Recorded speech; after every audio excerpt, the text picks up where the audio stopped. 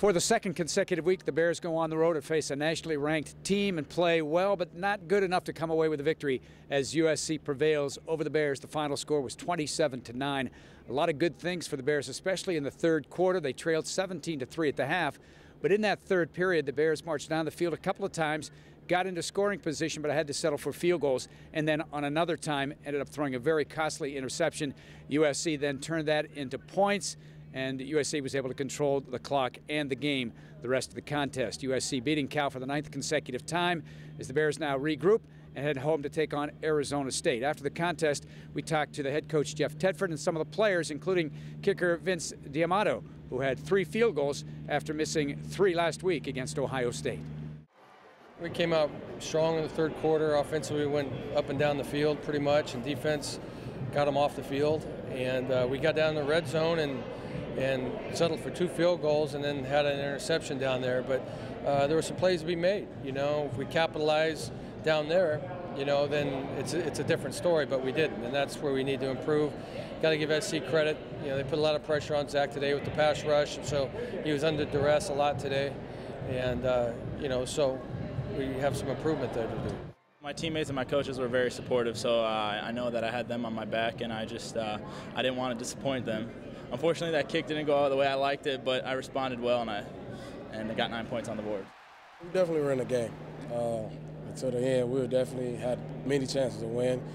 Uh, we just couldn't capitalize from, for whatever reason, but uh, we just have to go look at film and see why we didn't capitalize and make sure it never happens again.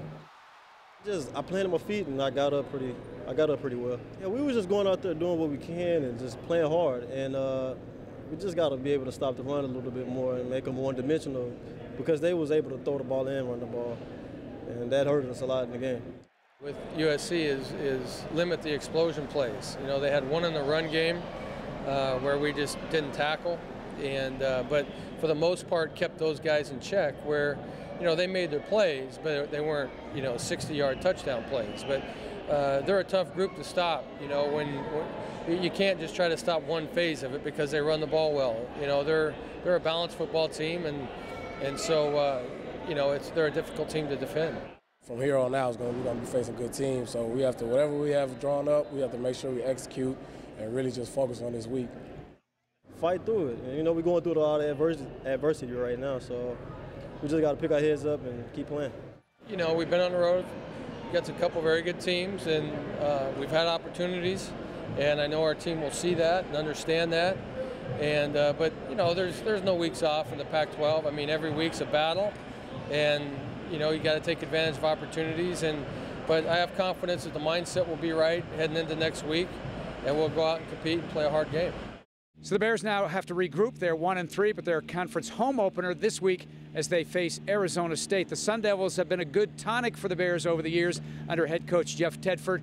The Bears have won four in a row, eight of the last nine against the Sun Devils. Reporting from the Coliseum in Los Angeles, I'm Todd McKim for CalBears.com.